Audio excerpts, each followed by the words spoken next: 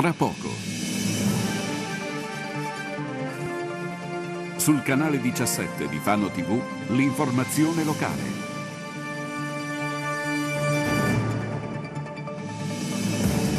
Grave incidente a Pesaro fra un'auto e una moto, 24enne in prognosi riservata. Un uomo minaccia di buttarsi dal balcone di un hotel a Pesaro immobilizzato con un sonnifero. Aset Holding verrà incorporata in Aset SPA, l'annuncio in conferenza stampa del sindaco di Fano Massimo Seri. Domenica 10 luglio si festeggia il patrono San Paterniano. Da stasera a domenica Tre Ponti si anima con la festa della Crescia Matta.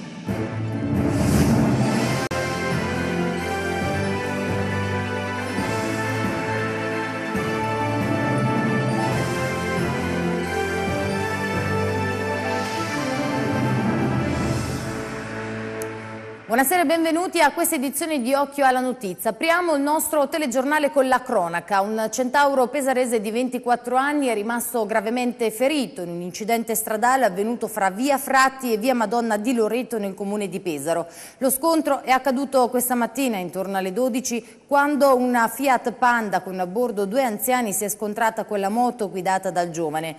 Nella collisione la Panda ha finito la sua corsa contro un cartello stradale mentre il ragazzo è stato sbalzato violentemente violentemente a 10 metri di distanza riportando gravi traumi. Il 24enne si trova in prognosi riservata all'ospedale San Salvatore, mentre sono rimasti feriti in modo lieve i due anziani a bordo dell'auto. La dinamica dell'incidente è al vaglio della Polizia Municipale di Pesaro. Un commerciante di mobili di origine libica ha minacciato di gettarsi da un balcone dell'hotel Cruiser in Viale Trieste a Pesaro. L'uomo di 53 anni si è rinchiuso in una stanza del quarto piano, è uscito in terrazza e ha minacciato di lanciarsi nel vuoto, inveendo anche contro alcuni parenti che in questo periodo si trovano in città. La direzione dell'albergo ha chiamato i vigili del fuoco che hanno posto una protezione sotto il balcone, i carabinieri e il 118. Dopo un'ora di trattative il libico ha accettato di aprire aprire la porta ai militari. A quel punto è stato immobilizzato e trasportato in ospedale nel reparto di psichiatria. I motivi del gesto sarebbero quelli della crisi libica, degli affari che vanno male e sembra anche le scelte strategiche dell'Italia nei confronti del suo paese ritenute dall'uomo sbagliate. Sono stati celebrati questa mattina nella chiesa Santa Croce di Calcinelli a Saltara i funerali di Gianni Ambrosini, l'uomo eh, deceduto all'età di 44 anni lunedì scorso dopo essere precipitato da una gru a pochi metri dalla Basilica di San Paterniano a Fano. Alle 9 la salma è partita dall'ospedale Santa Croce per giungere a Calcinelli dove Ambrosini era cresciuto prima di trasferirsi a Ponte degli Alberi di Montefelcino. Sono stati tanti oggi i parenti, i colleghi e gli amici di sempre sempre che hanno voluto dare l'ultimo saluto a Ambrosini. L'uomo che lascia la moglie e due figlie è stato tumulato nel cimitero di Saltara accanto alla salma del padre deceduto qualche mese fa. Cambiamo argomento, Aset Holding verrà incorporata ad Aset SPA. Lo ha annunciato il sindaco di Fano Massimo Seri questa mattina durante la consueta conferenza stampa del venerdì. La strada che porta alla fusione delle due Aset è delineata avverrà per incorporazione della Aset Holding nell'Aset SPA e dentro il mese, presumibilmente nel Consiglio Comunale del 28 luglio prossimo, verrà presentata una delibera di indirizzo. Il sindaco di Fano, Massimo Seri, come un comandante di vascello, sembra aver messo le manette dei motori avanti tutta e la barra del timone dritta e ben salda tra le mani, come lui stesso ha affermato questa mattina durante il consueto incontro con la stampa e saranno le carte a parlare, come le carte hanno parlato in questi giorni in cui il comune, la proprietà, quindi ha dovuto ricorrere ai cartellini rossi per rimettere le cose a posto e ricondurre tutto alla normale dialettica politica. Le scarrocciate impreviste non piacciono al primo cittadino che tuona. Sono stato chiarissimo nella lettera e mi aspetto che la holding recepisca tutto ciò che c'è scritto. Diversamente verranno presi i provvedimenti del caso. Traduzione, se la holding non ritira la diffida ai consiglieri comunali del vecchio Gabatini e Santorelli, allora interverrò personalmente. Ora, che il sindaco sulla fusione ASET goda del consenso favorevole dei comuni interessati era cosa nota. Cosa meno nota e scontata è il fatto che ora anche il Partito Democratico sembri sposare questa linea. La barra è ferma, andiamo verso la fusione. Ovviamente quando ci sono le situazioni complesse e politicamente accese è chiaro che le cose non sono mai semplici. Adesso siamo nella dirittura d'arrivo, le, le posizioni sono chiare, abbiamo le idee chiare e poiché parliamo di un'azienda che ha anche dei soci, cioè degli altri comuni, anche se sono soci con quote minori, ma è mio costume cercare sempre la condivisione, perché se le cose riusciamo a farle condividere sono più lineari e arrivano all'obiettivo. Quindi posso dire tranquillamente eh, che entro il mese di luglio eh, porteremo in eh, Consiglio Comunale la delibera di indirizzo. ASET SPA aderisce allo sciopero nazionale proclamato per le giornate di lunedì 11 e martedì 12 luglio. I cittadini sono comunque invitati a depositare fuori casa i propri rifiuti anche se l'azienda non riesce a garantire la presenza di tutti gli operatori. Quindi in caso di mancato servizio gli utenti dovranno ritirare i sacchi o i bidoni ed esporli alla raccolta successiva prevista dal calendario.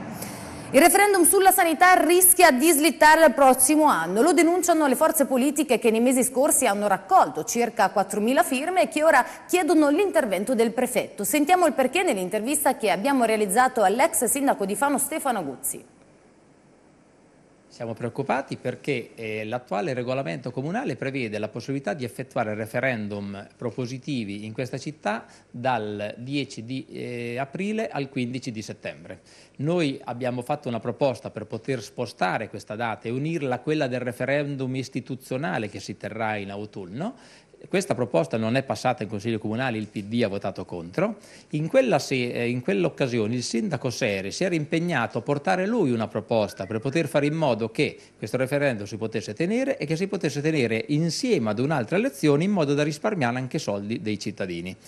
Eh, siccome i tempi si avvicinano, eh, il 13 c'è un consiglio comunale, noi non vediamo traccia invece di questa proposta che il sindaco si era impegnato a portare e ormai temiamo che non ci siano più i tempi, siamo fortemente a denunciare questa situazione, cioè eh, 4.000 firme raccolte eh, in pochissimi giorni di 4.000 persone di questa città eh, verranno ignorate probabilmente da questa amministrazione e non si svolgerà probabilmente nessun referendum. Già i tempi sono strettissimi, entro il 15 settembre sarà difficilissimo poterlo realizzare. Quindi siamo qui a denunciare questa situazione. Io oltretutto come consigliere comunale mi permetto anche di dire che c'è un clima ormai sinceramente molto pesante in questa città perché 4.000 cittadini che vogliono esprimersi vengono ignorati, dei consiglieri comunali che cercano di fare il loro lavoro vengono diffidati tramite gli avvocati da amministratori pubblici di questa città nominati dal sindaco. Ecco, sinceramente siamo un po' preoccupati, tant'è che Oggi stesso partirà questa lettera al prefetto di Pesaro Urbino e gli chiederà di vigilare con attenzione su queste tematiche in questa città per garantire la democrazia e la partecipazione di tutti i cittadini e dei consiglieri comunali.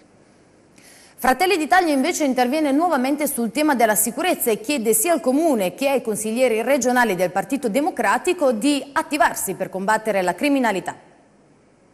Bisogna fare qualcosa, noi abbiamo dei deputati, dei rappresentanti del PD eletti nel nostro territorio, però vorremmo vedere da questi deputati concretezza su temi molto importanti e molto sentiti dai cittadini. La stessa cosa l'amministrazione, c'è un silenzio immane su questa cosa. Noi abbiamo proposto la riorganizzazione e l'utilizzo della polizia municipale che possono dare con servizi diversi un grande respiro alle forze dell'ordine invece la polizia municipale purtroppo notiamo che viene utilizzata per far budget, quindi come cassa bancomat e penalizzando fortemente i cittadini, quando invece potremmo avere una visione molto più a largo raggio. Avete chiesto informazioni però anche per quanto riguarda le telecamere di videosorveglianza? Sì, sì, la domanda sorge spontanea. Si è parlato di queste telecamere, 8 se non sbaglio all'inizio, è stato fatto un bando per la ditta che, a cui è stato assegnato l'appalto, credo di Rimini ho letto, ma da allora ad oggi noi non abbiamo avuto più risposte delle telecamere, che tra l'altro sono, sono abbastanza importanti comunque. È un occhio in più. Andiamo avanti ancora con la cronaca. Un incendio si è sviluppato oggi pomeriggio nel tetto di una palazzina in via Fratelli Bandiera in zona San Cristoforo a Fano. A prendere a fuoco sono stati dei cartoni contenenti tessuto plastico di isolamento, quelli che vengono utilizzati anche per gli impianti di riscaldamento a terra. Le fiamme sono state innescate dalla carta catramata utilizzata dagli operai di una ditta che stavano eseguendo alcuni lavori sul tetto dell'edificio. Quando sono intervenuti i vigili del fuoco il rogo era già stato spento dagli operai. Dopo un lungo periodo di sperimentazione della nuova viabilità Bellocchi di Fano, lunedì alle ore 20.45 l'amministrazione comunale incontrerà i residenti e i commercianti del quartiere al Circolo Anziani di Via Seconda Strada.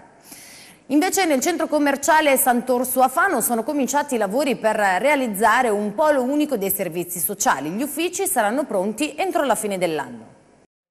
Tutti gli uffici legati ai servizi sociali, compresi quelli dell'ambito, ora dislocati in varie sedi, presto albergheranno sotto un unico tetto. Saranno i locali di proprietà comunale ubicati nel centro commerciale di Sant'Orso che subiranno una ristrutturazione dal costo di 120.000 euro che permetterà a tutto il personale, una quarantina di persone, di operare in un unico ambiente con locali protetti, senza barriere architettoniche e dedicati alle varie singole esigenze, ottimizzando così così l'offerta dei servizi sociali.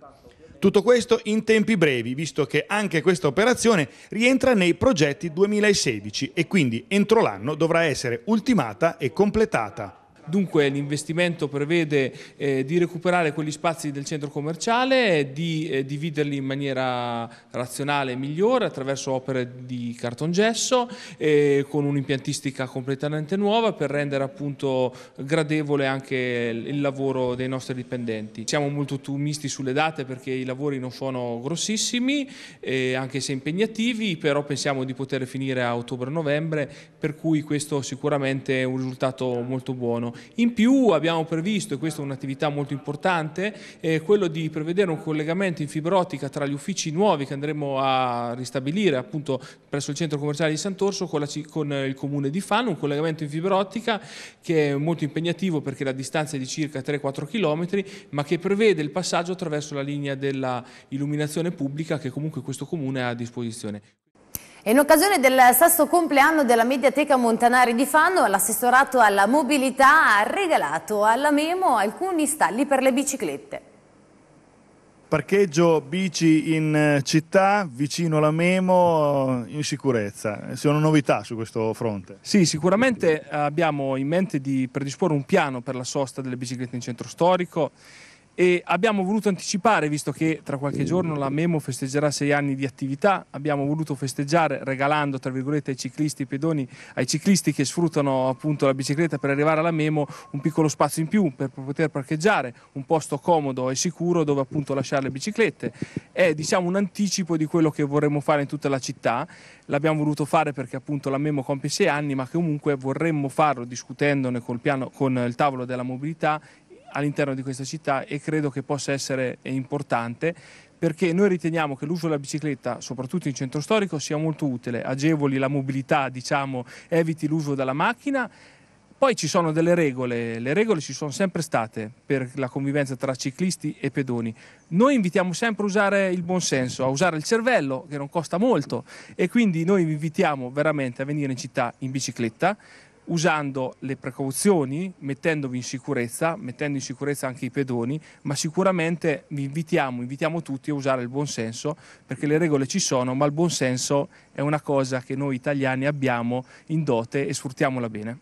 Ecco, il buon senso dice parcheggiamo e lasciamo le biciclette anche negli adeguati spazi che voi state per, per, disporre. Certamente, non lasciamo le biciclette davanti alle vetrine, non lasciamo le biciclette se possibile davanti ai monumenti in maniera tale che possano gustare la bellezza dei monumenti sia i cittadini che i turisti, cerchiamo di farlo con un certo criterio e noi predisponeremo questo piano appunto perché si possa fare, possa essere vicino ai posti dove vogliamo che la gente vada, certamente, ma possa essere appunto comodo anche e non infastidisca eh, la vita degli altri e l'attività in centro. E domenica 10 luglio a Fano si festeggia il patrono San Paterniano nella basilica a lui dedicata, che fra l'altro è anche una delle chiese giubilari per l'anno santo della misericordia. Domani, sabato 9 luglio, il vescovo Trasarti celebrerà una santa messa alle ore 18.30 e la basilica rimarrà aperta fino alle ore 23 per la visita e la preghiera al patrono. Nel chiostro invece alle 21.15 si terrà un concerto del complesso bandistico Città di Fano diretto dal maestro Daniele Rossi. Nella giornata di domenica invece alle 10.30 si terrà una solenne messa pontificale presieduta dall'arcivescovo metropolita di Perugia, Gualtiero Bassetti, mentre alle 21.15 sarà officiata dal vescovo Trasarti. A seguire il concerto itinerante dell'orchestra di Fiati Fanum Fortune diretta dal maestro Sauro Nicoletti dalla Basilica di San Paterniano a piazza 20 settembre. Vi ricordiamo inoltre che tutte le domeniche dei mesi di luglio e agosto nella Basilica di San Paterniano verrà celebrata una Santa Messa alle ore 21 e 30. Torniamo appunto a parlare, a parlare, di questa festa del patrono perché domenica sera alle 22.30 torna la tradizionale estrazione della tombola di San Paterniano. La figura di San Paterniano, insomma, per i fanesi, per chi ha studiato un po' la tradizione, è una figura sacra, eh, probabilmente la prima figura di vescovo in questa città in anni difficilissimi, le persecuzioni di Diocleziano, poi l'editto di Costantino di Milano, insomma, che dir si voglia, che ha liberalizzato il culto, ma ha significato anche da quello che si legge dalle scarse notizie eh, la figura di un santo eremita che si è prestato, perché i cittadini lo reclamavano, a governare questa comunità per un quarantennio. Figura molto amata non, solo nella nostra terra e quindi è una festa, una festa sacra, una festa popolare, è un divertimento perché la piazza si animerà di notte, colori e poi con questa mh, estrazione che si collega anche un po' alla fortuna, tuttavia c'è un altro scopo benefico che è la carità, la solidarietà, quindi i proventi di questo montepremi che è importante perché si aggira sui 2.000 euro, il montepremi, i proventi vanno per opere di bene a disposizione del Vescovo e a disposizione dei frati di San Paterniano. Un atteso appuntamento tutti gli anni, è diventato una tradizione imprescindibile dell'estate. Eh, sì, noi abbiamo già diciamo, i ragazzi che stanno, eh, stanno vendendo i biglietti eh, con questa maglietta gialla. E, eh, diciamo, tutti sono autorizzati a, a, vendere i biglietti già in giro, poi domenica sarà il clou della, della tombola. Ecco, ci sarà la vendita fino all'ultimo momento, quindi insomma chi non magari ne è provvisto può farlo anche la sera stessa. Sì, sì, sì, sì, sì. No, la sera stessa poi eh, diciamo aumentiamo anche i ragazzi, quindi ce ne saranno parecchi in giro. Allora, la presenza insomma, in una piazza così bella della città, la Carifano, si affaccia proprio sul teatro eh, dell'avvenimento e quindi non può non essere. Assolutamente sì, perché eh, lo sponsor era dopo che fossimo noi, eh, tra le altre cose, visto che siamo il retropalco in qualche maniera di questa manifestazione. Ma al di là delle battute ci fa estremamente piacere continuare in questo solco ormai tracciato da diversi anni di collaborazione per questa festa importante per Fano importante per, come diceva il vice sindaco prima, anche per gli scopi eh, benefici di questa cosa che viene mh, in aiuto alle varie attività che svolge comunque la comunità di San Paterniano che in questo momento storico sicuramente è molto molto importante. E non, e non secondo perché siamo comunque sia Carifano che il gruppo Credito Valternese, essendo ormai una banca ultracentenaria, voglio dire, perché non legarsi alla manifestazione più centenaria di Fano in qualche maniera? E lunedì sera la compagnia dialettale Gas porterà in scena la BCC Arena di Fano la commedia intitolata Un scherzo da prete, uno scherzo da prete. Dopo il grande successo della rassegna Cianfrusaglia, riproponete lunedì eh, la vostra commedia che ha avuto grande successo. Sì, allora lunedì 11 qui all'Arena BCC di Treponti eh, il GAF ripropone Un scherzo da prete, che è la commedia che abbiamo proposto quest'anno nell'ambito della rassegna Cianfrusaglia e che effettivamente sì, ha avuto un grande successo di pubblico perché abbiamo fatto 5 repliche, ehm, 5 serate tutte piene e per noi è stata una grossa soddisfazione, quindi chi non l'ha vista, oppure chi la vuole rivedere, insomma, si vuole divertire eh, come quest'inverno, noi siamo lunedì ehm, qui all'Arena BCC di Treponti. E alla cooperativa Tre Ponti di Fano questa sera ha preso il via la 32esima festa della Crescia Matta. Ma allora colleghiamoci con la cooperativa dove c'è per noi Lino Balestra, ecco che vedo già ha raggiunto le cucine. Buonasera Lino, come sta procedendo?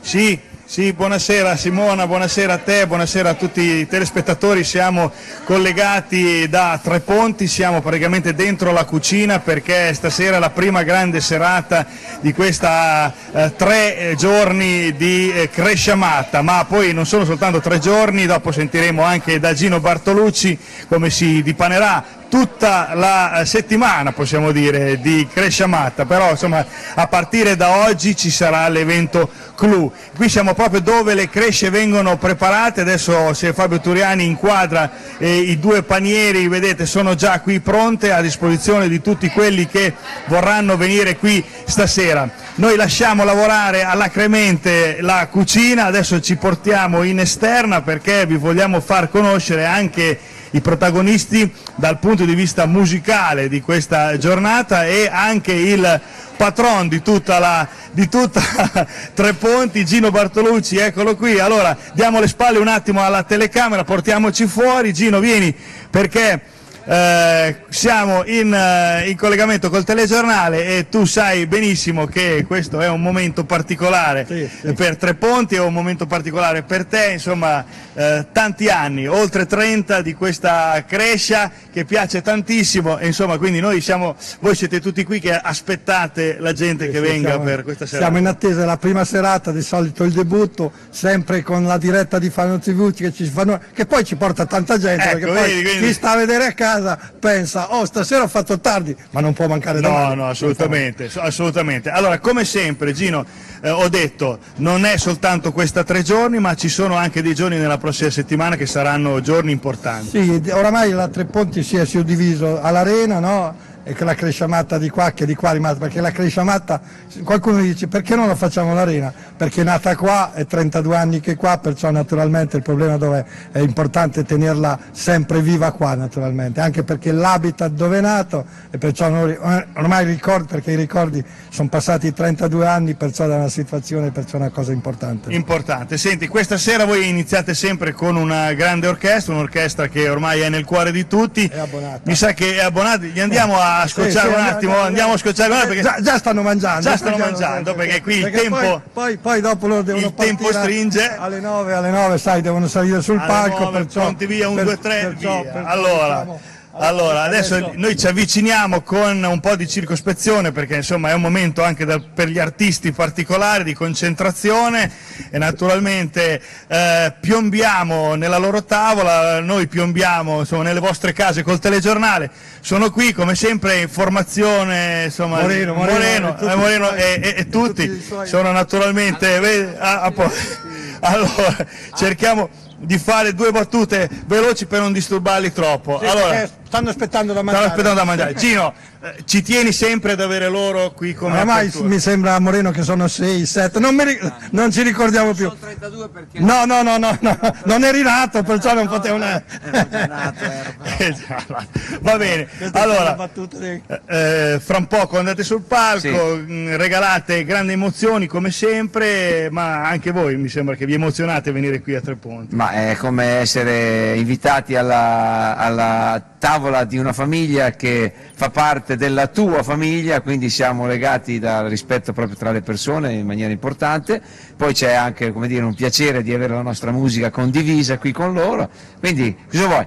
Lo invito a Gatteo Mare, ma lui non viene mai a Gatteo. Vengo, vengo, quest'anno vengo. Oh, sai che lassù ci diamo anche con nostro, la nostra ah, tradizione. Il bello di queste cose è che sono proprio gli, gli, incontri delle culture, la cucina, la crescia matta, la piadina, la, la, la musica, lo stile del ballo pesarese. Pullman, eh, ah, noi veniamo col pullman. Vengono col pullman. Ti faccio parcheggiare in piazza. Ah, ecco. Che onore, che onore. In piazza Gatteo. Allora, va bene, vi lasciamo pranzare in Santa Pace, in bocca al lupo per dopo. Allora, Gino, un saluto lo facciamo insomma, sì, prima di, di restituire. Ecco. a tutti gli amici e a tutti i telespettatori di Fano TV. Naturalmente stasera abbiamo il grande però non da meno domani e dopodomani, naturalmente con domani Ioselito domenica la grande orchestra nostra di Mario Riccardi, poi la prossima settimana, come hai detto prima, lunedì il GAF all'Arena BCC, giovedì DJ Berta e venerdì la nostra chicca, le nostre barzellette con gli amici del San Costanzo che già la dicono tutta perché bastano loro a fare la, la loro comicità. Bicio che viene da Sant'Angelo che vinse, oramai passati gli anni, la sai l'ultima, la sai l'ultima, e tanti barzellettieri. Quest'anno abbiamo fatto un bel cambio di, di, generazione perché abbiamo puntato su dei nuovi elementi, perciò a un certo punto ci sarà un rinnovamento. Un rinnovamento perché giustamente eh. ci dicevano oh cambiamo qualcosa perché, sempre, perché poi le barzellette voi mi insegnate sono sempre quelle. Sono no? Però le facce vanno cambiate, perciò ecco. quest'anno cambiamo le facce. Quello che non cambia è il buon umore, è il buon cibo, è la, buona musica e la crescia matta. Quindi grazie. da Tre Ponti è tutto, restituisco la linea allo studio. A te Simona. Grazie, grazie Lino Balestra, a tutta la cooperativa e ai volontari appunto lì a Tre Ponti. Prima di salutarci vi ricordo che questa sera, subito dopo il nostro telegiornale, trasmetteremo eh, lo speciale televisivo dedicato alla Notte Rosa. Per il telegiornale è tutto, grazie per averci seguito, arrivederci e buon proseguimento di serata. Sagrada.